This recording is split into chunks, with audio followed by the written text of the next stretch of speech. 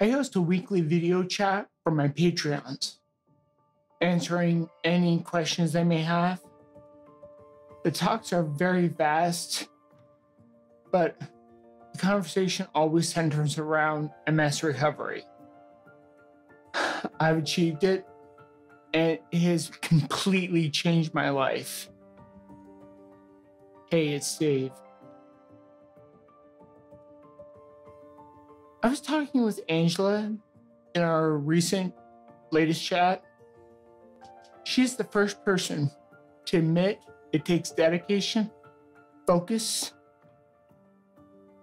and a little faith. She often tells me she is so thankful she found me. She is feeling significant MS recovery. This changes start small, but eventually grow over time. She asked me, What was the spark that drove me in the very beginning? So I told her my journey. I shared my setbacks and victories that I had. And after our chat ended, I watched the video recording and I was left feeling a little empty and I wish I had explained it better. I felt that I didn't truly answer the question the way I wanted it. Let me ask you something. Do you ever feel you can't explain what you start, but it ends up what you did was completely the right thing to do? We all live in a constant and ever changing learning environment. And looking back over my recovery journey, I realized MS recovery is learning. Learning environments can be split into two different categories.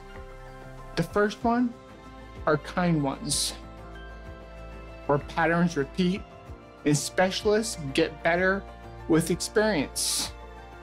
For instance, playing chess. But MS recovery doesn't fall into that category. With MS, they often tell us to do one thing or another.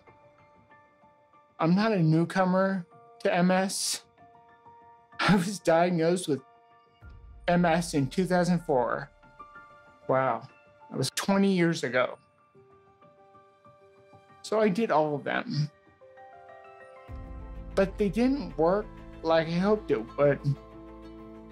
I thought my MS would go away when I followed that kind learning environment. I mean, if it was a kind learning environment, we would have an exact list of foods to eat and what foods to avoid.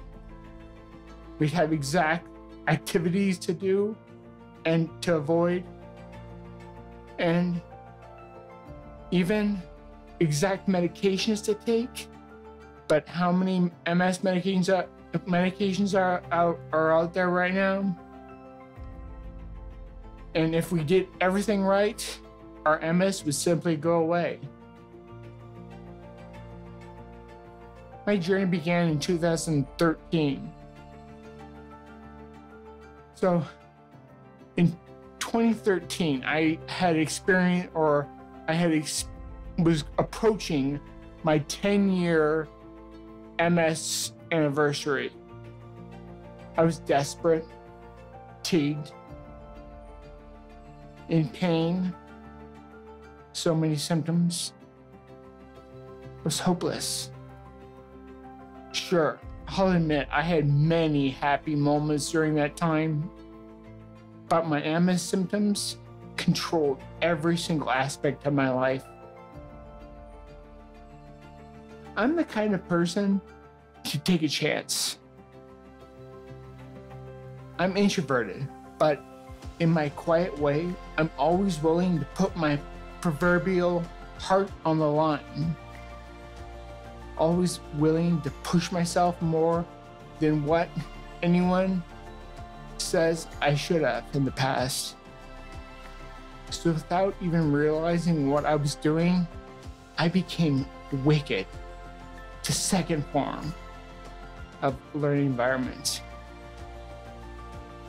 In a wicked learning environment, there is a lot of spontaneity and unpredictability involved in experience that don't necessarily correlate with immediate success. But despite not having the instantaneous success and changes, and never give up. Over time, I embraced that journey and I felt little changes happening over time. And I wish it was better and I wish it was different than that, but that's how it is. And now Angela is even telling me she's experienced those little changes and they are, I think they're growing. So she's becoming wicked as well. Walking the same recovery path I walked. Want to become wicked like us and truly recover from MS? Want to join us in our weekly chat? I'll put a link down in the description. Thanks for watching. Make sure to like and subscribe so you never miss a video. And also check out my Patreon page. Until the next one,